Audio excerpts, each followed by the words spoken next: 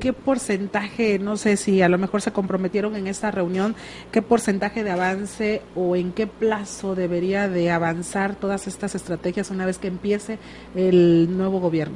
Sí, yo todas estas estrategias tienen que ir eh, esposándose en un plan de corto, mediano y largo plazo.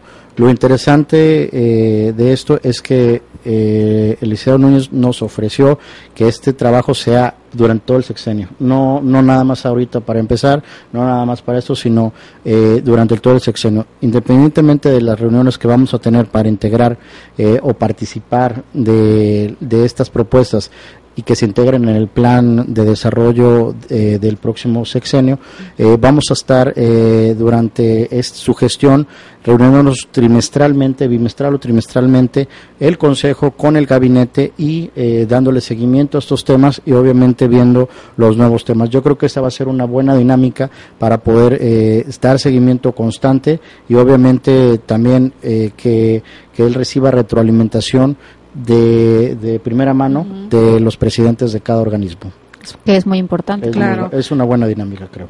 ¿Se va a formar algún consejo o a, través del Consejo Coordinador. directamente a través del Consejo, Coordinador, somos los, presidentes los presidentes que, este, del Consejo y este, directamente con el gabinete. Yo creo que esas reuniones son importantes que, que se hagan durante todo, todo eh, el gobierno y de alguna manera van a servir eh, para, para poder agotar temas, avances y sobre todo ir midiendo cómo vamos eh, en el desarrollo económico del Estado. Otro tema importante también, Omar, tiene que ver con las personas que eh, por supuesto, van a encabezar los, las áreas vitales que, tengan, que tienen que ver con el desarrollo económico del estado de Tabasco. Estamos hablando de la SEDECO, estamos hablando de turismo, estamos hablando de SAOP, eh, entre otras dependencias y organismos, ¿no? Ustedes también juegan un papel importante, por supuesto, en la decisión o en la toma de decisiones que puedan eh, llevar a cabo las próximas autoridades. ¿Van ustedes a hacer algunas propuestas de gentes que puedan estar a cargo de estas eh, dependencias? Sí, mira, de entrada, bueno, queremos ser muy respetuosos de, las decisiones eh, que tome Eliseo Núñez. Él conoce muy bien lo que quiere, vimos que eh, está muy empapado.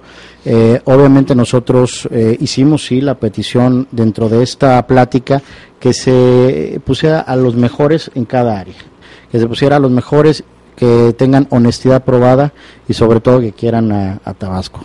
Eh, creemos que van a ser los mejores.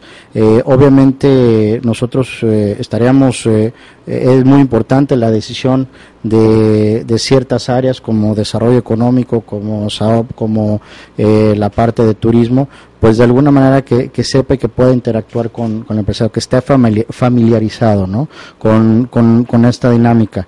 Eh, creemos que eh, existen mm, pues eh, eh, grandes personas que pueden este, tomar la batuta y de alguna manera pues nosotros estaremos trabajando eh, de la mano y obviamente este eh, de entrada creo que va a tener la apertura porque nosotros ya tenemos una agenda muy estipulada. No, no, no vamos a, venir a, inventar en su momento. Estamos ya trabajando con un acuerdo, con en un proyecto que, que, tiene líneas de acción.